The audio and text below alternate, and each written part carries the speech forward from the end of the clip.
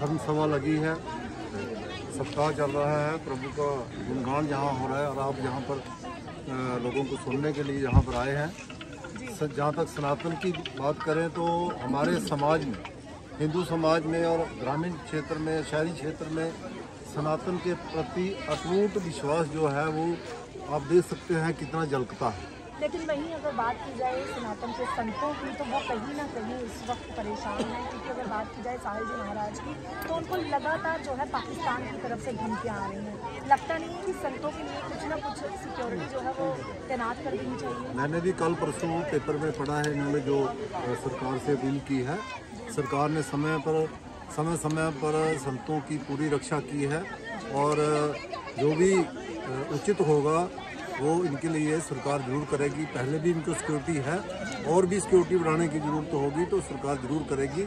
उसके लिए हमें निश्चिंत रहना चाहिए और क्योंकि आप भारतीय जनता पार्टी से रिप्रेजेंट करते हैं आप किस तरह से इनका साथ देंगे सहयोग के मैं आज तो जे भगवान की दया से जवान हो गए हैं लेकिन जब ये बाल संत थे शुरुआत इन्होंने की है मैं तब से इनको जानता हूँ और ये हमारे इलाके के ही हैं जोड़ियाँ से हैं हमारा पूरा जिला जम्मू के ही हैं।